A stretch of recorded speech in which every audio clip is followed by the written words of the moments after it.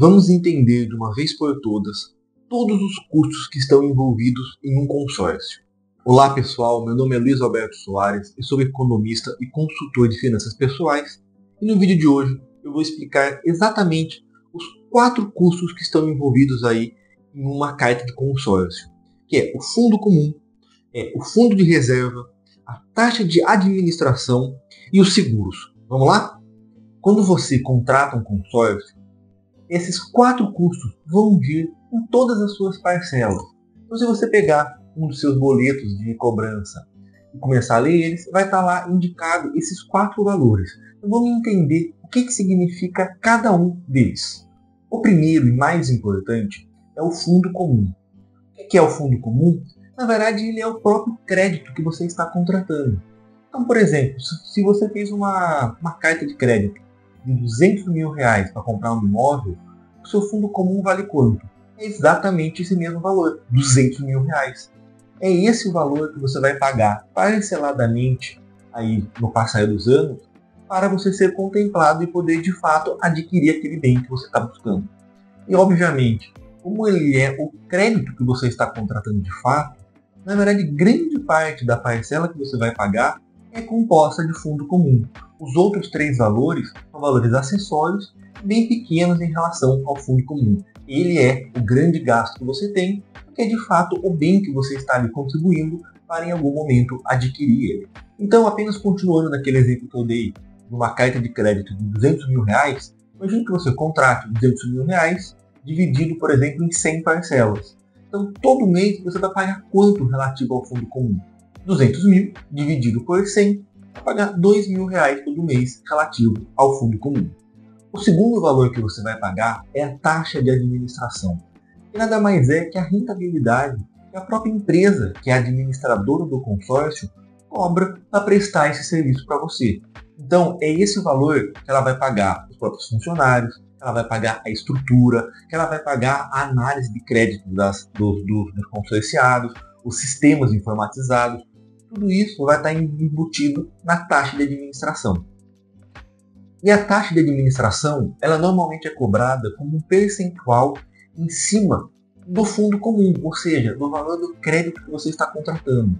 Normalmente ela é expressa em percentual. Então, uma taxa de administração de 10%, de 15%, de 20%, sempre esse valor relativo ao crédito que você contratou. Então, por exemplo, se você contratar uma carta de 200 mil reais e a taxa de administração da sua administradora de 10%, no total do seu consórcio você vai pagar 20 mil reais de taxa de administração, que é 10% de 200 mil.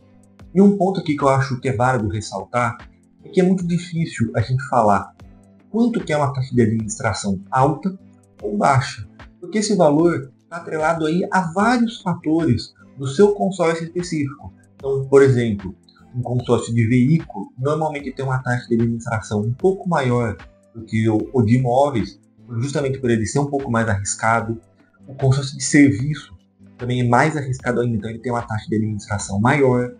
E normalmente, quanto maior o prazo do seu consórcio, maior é a taxa de administração, justamente porque vai ter, de fato, um trabalho maior por parte da administradora para gerir o seu consórcio.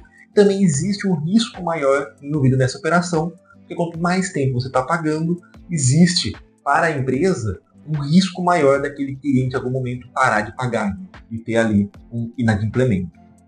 Um outro assunto que é muito importante trazer é que no consórcio não há cobrança de juros. Se você já assistiu nos últimos vídeos que eu já publiquei aqui no, no canal, você vai saber já um pouco mais sobre isso. Mas no consórcio não existe a cobrança de juros semelhante aí a um empréstimo ou a um financiamento.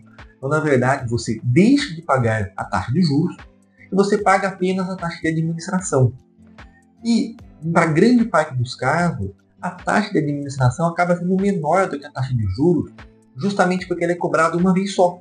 Então, por exemplo, uma taxa de financiamento, de empréstimo, de 10% ao ano, e um consórcio cobrando uma taxa de administração de 20%, apesar de 20% ser maior do que 10%, a taxa de administração do consórcio é cobrada uma vez só. Você vai pagar apenas uma vez aqueles 20%. Enquanto uma taxa de financiamento de 10% ele é 10% ao ano. Se você for então demorar, por exemplo, 30 anos para quitar o seu financiamento imobiliário, aquela taxa de juros de 10% ao ano vai incidir ano após ano após ano. Então, no final, a taxa de administração de um consórcio é normalmente bem inferior ao valor que está sendo cobrado aí de juros no financiamento. No financiamento, é muito comum, no total das parcelas que você paga, por conta da questão dos juros compostos e esses juros que vai se arrastando com o passar dos anos, que você pague duas vezes e meia, três vezes o valor daquele bem que você está querendo comprar. Enquanto no consórcio, você está aumentando 10, 15, 20% em valor em relação ao valor do, do bem original. Então vamos agora já para o terceiro custo que vai estar envolvido na sua operação de consórcio, porque eu já falei muito aí da taxa de administração. Agora a gente vai falar da, do fundo de reserva. O que é o fundo de reserva? Na verdade, ele é um valor que ele complementa o seu fundo comum. Ele é um valor cobrado pela administradora para proteger o grupo de consorciados de eventuais inadimplências, ou seja, de alguns calotes que invariavelmente algum dos consorciados vai acabar dando. O fundo de reserva, então, nada mais é do que uma reserva de emergência que fica guardada no caixa do grupo de consórcio separado, apenas para cobrir eventuais emergências que venham a acontecer aí durante o consórcio. Ele é um dinheiro extra que fica guardado justamente para permitir as contemplações dos consorciados, mesmo no caso de haver ali alguns daqueles consorciados que não estejam pagando o seu consórcio. A primeira coisa que é importante lembrar do fundo de reserva é de que, em última instância, ele acaba sendo um custo envolvido na sua operação. Então, quando você for comparar diferentes administradoras, você não deve apenas comparar a taxa de administração de uma com outra, você tem que sempre somar a taxa de administração com a taxa do fundo de reserva.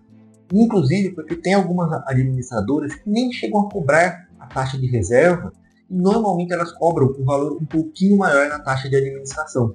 Então, por exemplo, se você tem aí uma administradora cobrando 15% de taxa de administração e zero de reserva, qual o custo total? 15. Se você tem outra que cobra 14 de administração, a princípio ela parece ser mais barata, 14 é menor do que 15. Mas se ela vem e cobra 2% de taxa do fundo de reserva, na verdade o total é 16%, então ela acaba sendo um pouco mais cara do que essa aqui. Então você sempre, na hora de comparar custos, você sempre tem que somar a taxa de administração com o fundo de reserva. Mas como regra geral, o valor do fundo de reserva normalmente ele é bem pequeno, coisa aí de 0,5%, 1%, no máximo 2% porque esse dinheiro ele não vai para a administradora. Ele é um dinheiro dos próprios consorciados. Ou seja, no final do grupo de consórcio, se esse valor não precisou ser utilizado e sobrou esse fundo de reserva no grupo, esse dinheiro vai ser redistribuído perante todos os consorciados.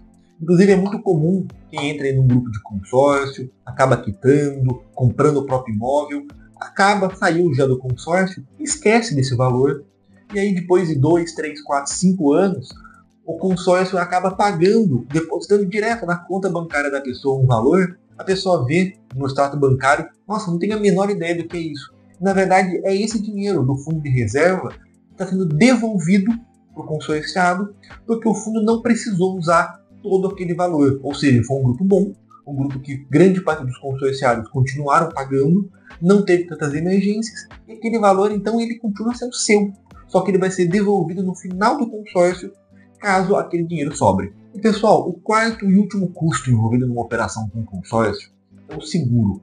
E o nome dele é o seguro de morte e invalidez. O que significa isso? De uma forma muito resumida, é um seguro de vida que é feito aí em nome do próprio consorciado. Se o consorciado acontece em alguma uma catástrofe, alguma coisa, e ele vem ou a morrer ou ele venha ficar com uma invalidez permanente, impossibilite ele continuar trabalhando e obtendo renda, ele não tem que se preocupar, porque o consórcio vai ser integralmente pago pela própria seguradora. O seguro também é um pequeno percentual em relação aí à sua carta de crédito e ele é pago diretamente para a seguradora. Ou seja, quando você paga o seu boleto do seu, do seu consórcio, esse dinheiro não vai diretamente para a administradora. A administradora apenas recolhe e repassa diretamente esse dinheiro para a seguradora. Isso, inclusive, era um problema no passado, passado muito distante, várias décadas atrás, não existia uma regulamentação muito forte e era relativamente comum administradoras pequenas de má fé pegavam o dinheiro desse seguro e nunca contratavam um seguro de fato. Hoje, o Banco Central fiscaliza todas as administradoras de consórcio para garantir que o valor que você está pagando relativo ao seguro ele é de fato repassado para a seguradora e para que exista uma seguradora por trás dando essa segurança para o consorciado para o seu próprio grupo. Porque se alguém vem a falecimento ou venha a ficar com invalidez permanente e não pode mais trabalhar, ele poderia colocar em risco a própria saúde financeira do grupo. E com o seguro isso não acontece. A seguradora entra, atua e quita aquela dívida.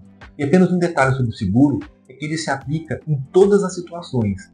Mesmo se você ainda não tenha sido contemplado, ou se você já tiver sido contemplado, independente do caso, se você ainda tiver parcelas do seu consórcio em aberto e vier acontecer ou óbito ou a invalidez permanente, a seguradora vai quitar toda a sua dívida restante. Espero que você tenha gostado desse vídeo e que agora, depois de ter assistido ele, você consiga entender exatamente cada um dos quatro custos envolvidos no seu consórcio e que quando você receba o seu boleto de, de cobrança da sua mensalidade, você vai conseguir entender exatamente o que você está pagando. Qual dinheiro é seu, qual dinheiro é da administradora qual dinheiro é do seguro e o que significa cada uma daquelas cobranças. Se você quiser continuar sabendo mais ainda sobre o consórcio, assista aqui a minha série Guia dos Consórcios, onde eu começo desde o vídeo mais básico, da explicação mais básica, até estratégias bem avançadas para que você consiga assistir tudo isso e saia entendendo tudo sobre consórcio para que você possa tomar uma decisão economicamente viável e inteligente. E se você quer saber se o consórcio é a melhor solução financeira para a sua realidade, entre em contato aqui embaixo comigo pelo meu WhatsApp. Eu vou pessoalmente te responder. A gente vai junto encontrar a melhor solução para que você construa o seu patrimônio e tenha a vida que você merece. E por fim, se você gostou desse vídeo, clica aqui embaixo no, no joinha, se inscreve no nosso canal e continua assistindo aqui. Se você tem alguma dúvida sobre finanças pessoais que você gostaria de ver respondida aqui no nosso canal, entre aqui embaixo, faz um comentário, explica o que você gostaria que fosse resolvido, porque eu estou sempre lendo esses comentários para ter ideias para meus vídeos futuros. Beleza? Até a próxima, pessoal. Tchau, tchau.